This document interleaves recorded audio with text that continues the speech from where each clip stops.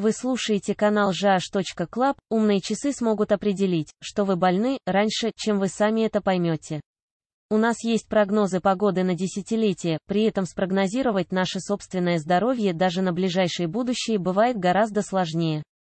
Тем не менее, раннее понимание того, что мы можем заболеть гриппом или COVID-19, может быть чрезвычайно полезным. Хорошая новость в том, что носимые устройства, такие как смарт-часы, могут обеспечить именно такие ранние предупреждения.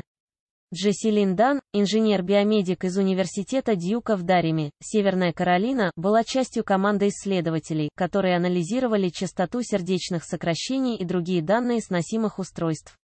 Системы, подобные умным часам, содержат датчики и собирают много данных, которые могут указывать на здоровье или болезнь. В рамках нового исследования ученые попросили 49 добровольцев носить браслеты с датчиками до и после заражения вирусом гриппа, а также другим вирусом, вызывающим симптомы простуды. Как минимум раз в секунду эти браслеты записывали частоту сердечных сокращений, движение тела, температуру кожи и многое другое.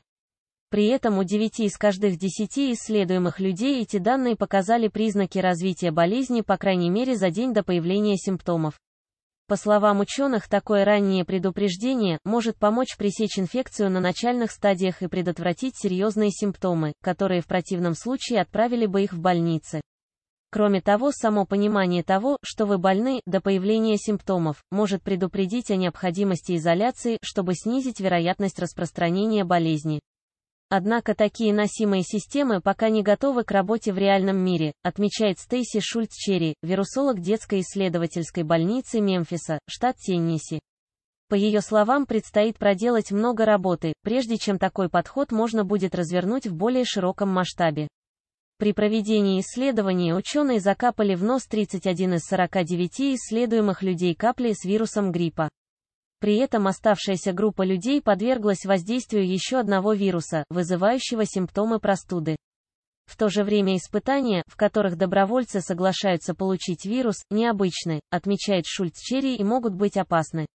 Именно поэтому исследователи убедились, что добровольцы здоровы и не заразят других. Группа Дан хотела сравнить данные, полученные с датчиков инфицированных и здоровых людей. При этом определение тех, кто был заражен, повлекло за собой серьезные дебаты в нашей команде, отмечает Эмилия Гжесяк, специалист по обработке данных, которая работала над этим проектом в университете Дьюка. Так, согласно окончательному решению команды исследователей, люди были инфицированы, если они сообщали не менее чем о пяти симптомах в течение пяти дней после потенциального заражения вирусом. При этом ПЦР-тест также должен был обнаружить вирус как минимум в два из этих пяти дней. При этом, исследуемые люди начинали носить браслеты еще до того, как вирус был у них обнаружен. Это обеспечило исходные данные, полученные когда добровольцы еще были здоровы. Датчики продолжали собирать данные в течение нескольких дней после потенциального заражения, при этом некоторые данные измерялись более 30 раз в секунду. Это означает, что у каждого из 49 новобранцев было до 19 миллионов записей данных, отмечает Грёсяк.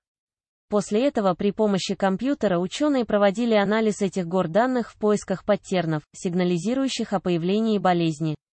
Фото mobile-review.com Для выполнения такого анализа учеными был создан специальный алгоритм, который проверял все возможные комбинации данных с датчиков в каждый момент времени.